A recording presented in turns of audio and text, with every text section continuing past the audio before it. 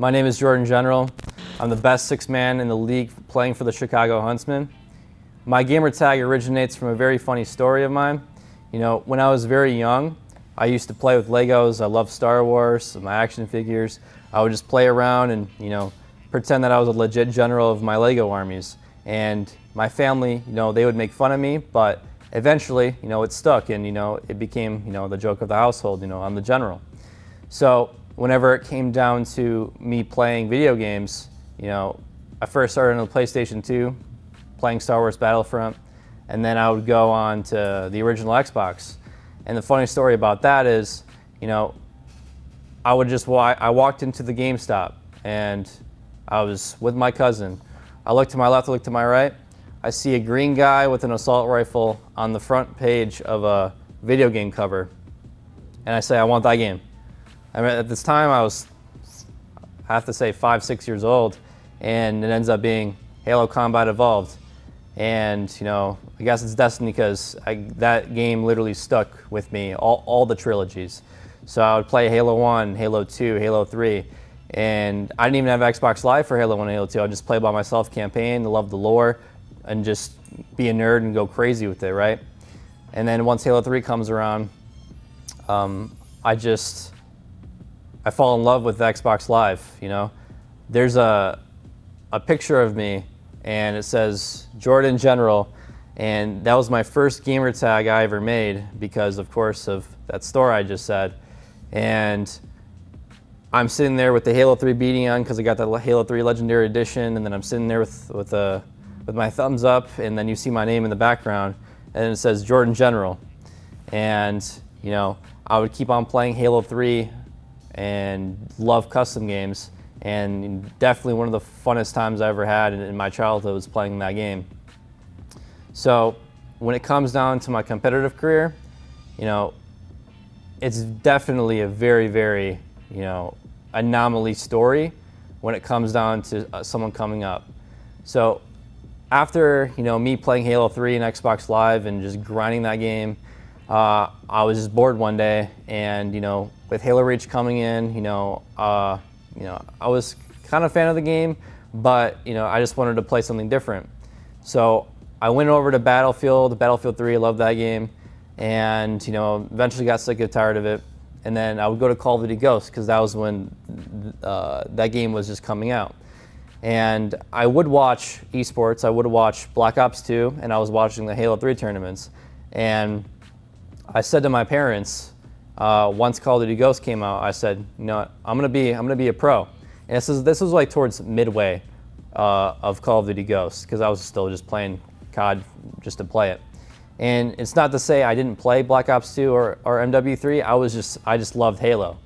But going on, um, my story is actually hilarious because I didn't network, I didn't play tens, I didn't do anything. I literally went into a public match, clan v clan, and would play for at least a month uh, and just meet people through clan v clan and game chat.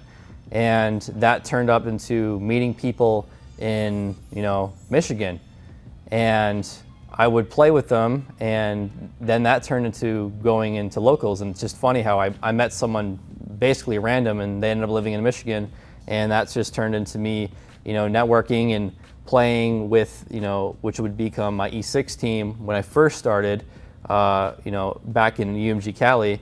Um, you know, we would win, you know, to the 250 series and the tournaments before that, but I still remember it to this day. I was playing against Optic for top three at my first official pro event. I still remember that the crowds was, was literally crazy. You would hear that huge optic roar, and then you would hear the, some of the E6 supporters that was just screaming at the top of their lungs. And at the time, we were, you know, the golden childs of the amateur scene. You know, we literally came from nothing, that no one expected us to do anything, and we're here playing against Optic Gaming, one of the best dynasties to ever live. So I'm sitting here and I'm sitting here now, and especially in the moment, I'm literally seeing this crowd go roaring and uh, you know I'm literally like living through it and it was one of the greatest uh, times of my life Because at the time, you know, coming into an event, you know, you, you, you go into an event wanting to win it. You need to have that confidence as a competitor, right? But for me, with an amateur team that no one knew was going to do anything, you know, you, you want at least like top eight. You know, you got to be realistic. But for us to play that so good and actually have a good chance to take Optic to almost game five and potentially almost could have beat them if it wasn't for our own mistakes, you know, that was a crazy, a crazy moment for me. And us placing third, it instantly put us on the map, instantly. So for me, as a 15 year old and an owner at the time, you know, that was a lot just for me, you know, coming into a scene, impressionable child. And ever since then, I always look back at that and now I'm here now and you know the, the journey's been crazy. This off season was definitely a roller coaster of emotions, definitely with a lot of highs and lows. So when it came down to champs, the amount of time I put into that tournament, along with my teammates, especially my coach, we literally put everything into that tournament. So when it came down to the off season, I was you know expected to be on a team. Just call it how, how it is. At at champs, I'm sitting here, you know, playing for my my top three, top four. I just got done beating a couple of these top teams, and I'm sitting here watching people in suits at franchise meetings. And in, in, the back of my head, I'm just like, hmm, well, you know, I'll worry about that later. Let me just focus on the tournament. But little do I know, fast forward two, three months ago, people are already with these franchise people getting to their, getting to their, their ears and saying what they want to say uh, about whoever behind their back. And it's not their fault. At the end of the day, it's just the people that got there. It's just what it is. You know, got to respect their hustle. No, disres- no disrespect to that. But when it comes down to me, arguably, you could say that last year I was a very consistent player. We had very good placings. Definitely not a win. Of course, you would want to win, but you know, top sixes and a top four at champs, especially with good performances from the players on the teams, including myself. I mean, at champs, it was literally my best tournament this whole year. And just like everyone always says, right? If you don't do a good at champs, you're not a good team. You need to do good at champs. You need to do good at champs. Uh, if you don't do it good at champs, you know, you just got nervous. It doesn't matter about the other ones. When it comes down to this tournament, doesn't matter about the previous ones. You need to do good at this one. And guess what happens? E6 does good at this one. Uh, every dog has their day. Is what it is. You know, I, I just I, I would just I just laughed at it.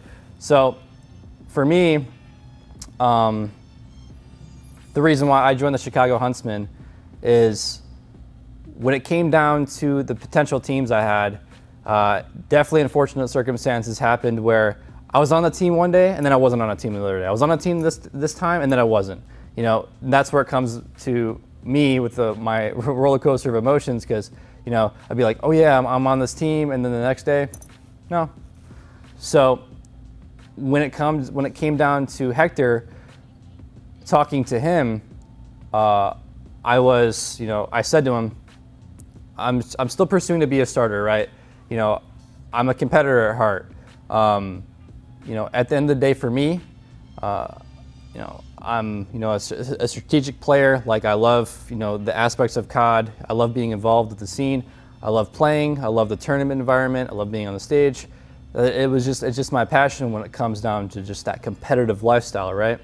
So for me, I said to Hector, I said, if I don't get a, a spot on a team, um, and at the time I'm like, you know, I'll probably be on a team, but if I don't, the only team I would sub for in the league is you guys. That's the only team I'd do it. And if it wasn't for Hector, I would not be in the league. And I appreciate that he gave me the opportunity that he did because a lot of people would die for this. And you know, I'm very grateful that some of the best players to ever play Call of Duty, uh, along with someone that's built the foundation for the Call of Duty esports scene, these people gave me the opportunity to be alongside them. So when it comes down to it, like I'm, I'm, I'm, I'm honored. It's funny because people, you know, would say and make fun of me and say, oh yeah, you're, you're Mr. Do-It-All, you know, a couple years ago. But in all reality, it's true. You know, I, I do do it all. I gave a lot of opportunities to players that at the end of the day, no one would know if I didn't reach out my hand and take that leap of faith on them. There's been multiple players that I literally, you know, took the chance on and I, and I believed in them and I gave them the nudge. I gave them the structure that a winning team, a consistent team in the professional level needs, and they excelled. And for me, you know, I've always been about, you know, teamwork. I've always been about that that teamwork environment where you work together, you win together, you lose together, and that's that's always been my consistent factor if at always being at the top whenever I'm doing very well. So when I got players like, you know, for example, Dashy, Abezy, um, I have to think there's just so many. Like even even at my champs team, Breszy, GodRx, Kismet, um, Mayhem, a lot of these players throughout the years uh, wouldn't be able to have a, a, winning success team if it didn't come down to those structured fundamentals. So I was there and I would make sure that that's just how the team is going to be. And at the end of the day, that's just how we would mesh. And when it comes down to us playing as a team, you know, everyone has to understand it's not about the individual game, it's all about working together. And that's what I've always tried to strive for and always convey to anyone I play with. At the end of the day, I know that I'm a starter. So I'm gonna keep my head down, I'm gonna work hard, I'm gonna grind, when I get on that main stage, I know I'm gonna perform. Pressure or no pressure, I'm going to perform. I've done it over and over and over again. I never gotten the credit that I deserve, but I'll continue to prove everybody wrong. Because that's who I am. I'm General.